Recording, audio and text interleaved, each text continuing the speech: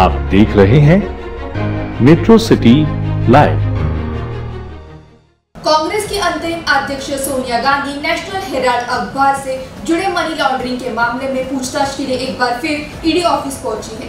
Party के शीर्ष नेता ईडी की पूछताछ के विरोध में आज कांग्रेस के कई सांसदों ने संसद परिसर से विजय चौक तक मार्च निकाला। इस मार्च में पार्टी नेता राहुल गांधी भी शामिल हुए। इस दौरान पुलिस ने मार्च कर रहे कई कांग्रेस सांसदों को हिरासत में ले लिया है। यही नहीं, पुलिस ने कांग्रेस के पूर्व अध्यक्ष राहुल गांधी को भी हिरासत में ले लिया है।